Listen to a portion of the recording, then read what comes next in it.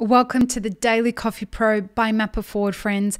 And thanks to our presenting sponsor, the Coffee Consultants Mastermind Group, a new six week program starting in July 2021 for the first time.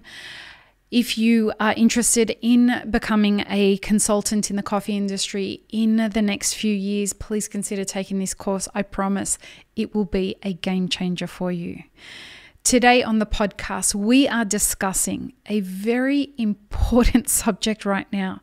How long should a barista stay in the job of a barista?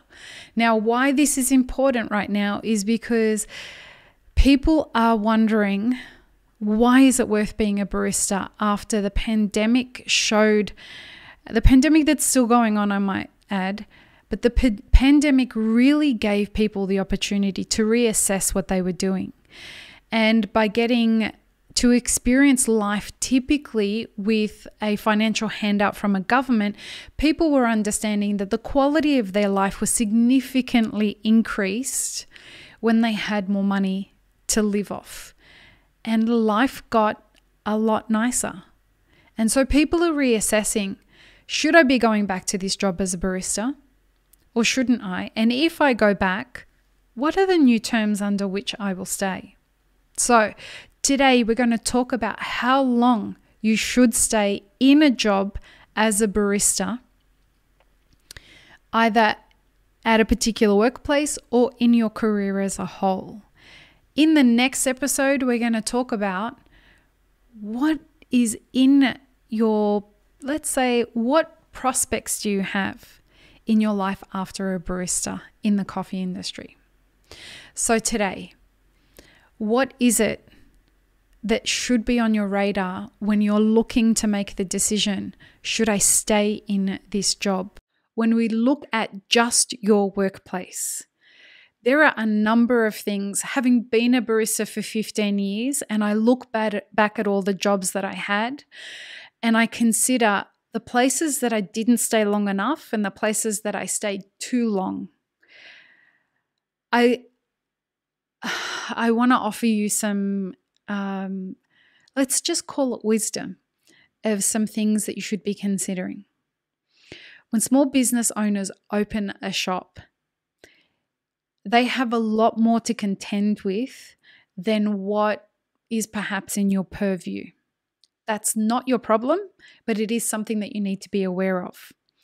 Because the demands that you may be making off your employer may be things that they're unable to deliver. Should that be your problem? Shouldn't that be your problem? Well, that depends on the demands. Now, if your demand is a greater pay rate and your employer says no, that may be a legitimate demand that they are incapable of delivering to you because they're not making enough money.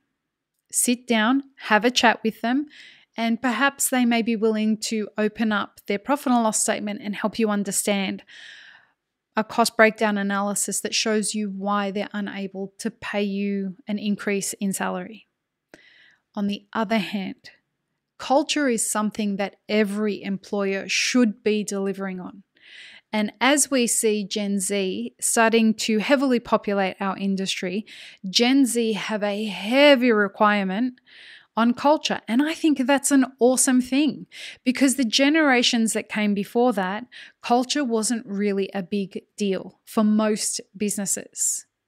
So if you are in a job and the position that you're in is not delivering on the things that you and your employer negotiated at the time of interview.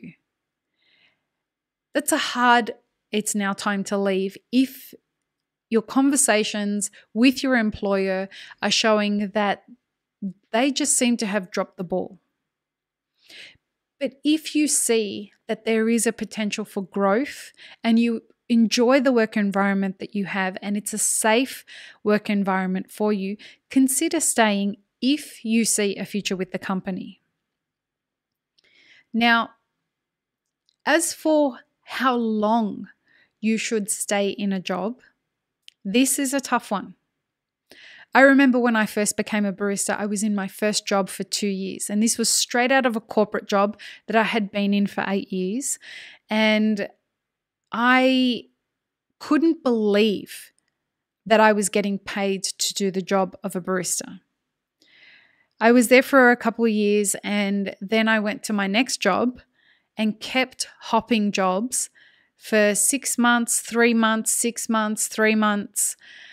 And the reason was because I couldn't find an employer that I wanted to dig in my roots with.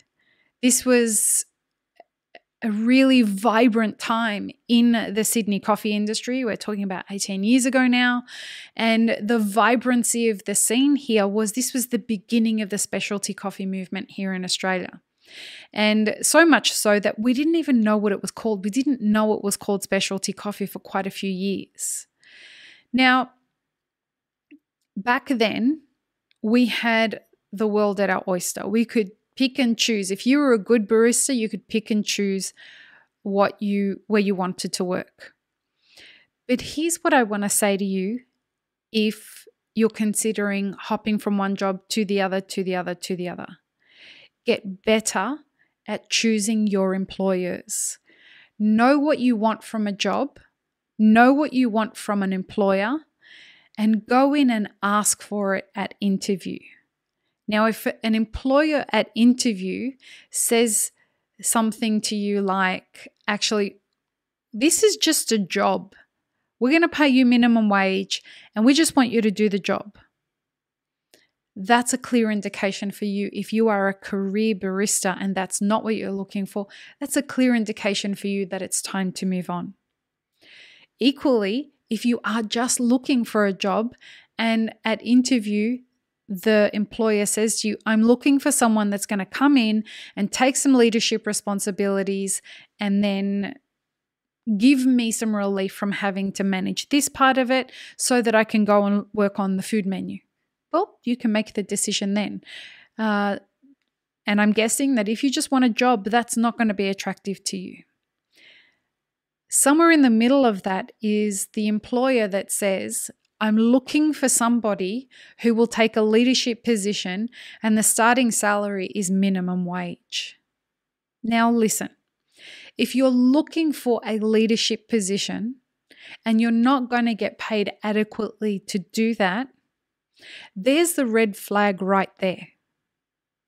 So, these things take time to learn. And that's why I was going from job to job to job to job. I didn't know how to ask questions at interview in the beginning of my career. I didn't know how to get the information out of my potential employer because I just didn't know. We didn't have a daily coffee pro.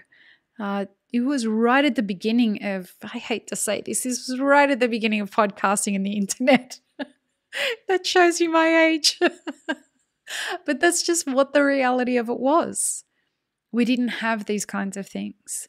So please stay in a job as long as it feels that it is meeting your needs and your employer's needs, but primarily your needs.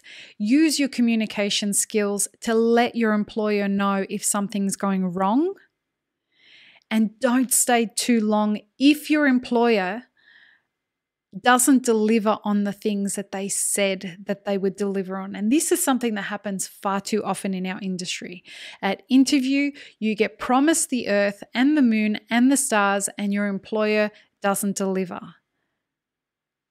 one question that you can use at interview to really figure out if your employer is going to deliver or whether their promises are a red flag. And that question is how do you intend on delivering this position? What's your rollout plan?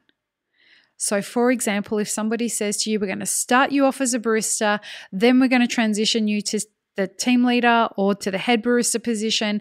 And then we're going to get you to start coffee roasting, if that's what your objectives are, is to become a coffee roaster. That's the that's the discussion at interview. Your job is then to say, Could you explain to me what the steps that you're going to take are to execute that and what could prevent it from happening? Also, you want to ask what the time frame is and are they okay with you checking in at the halfway mark to see if we're on track for me to get to that position? These are all very reasonable questions to ask, and an employer that cannot answer them does not deserve your time. If you want to stay in a position longer, so that and and if you're an employer that's listening to this, if you would like your baristas to stay in their positions longer, this is a level that you need to be at in order to attract talent these days. I hope this has been helpful, friends. Peace, love, and peanut butter. Don't forget to subscribe and have an amazing rest of your day.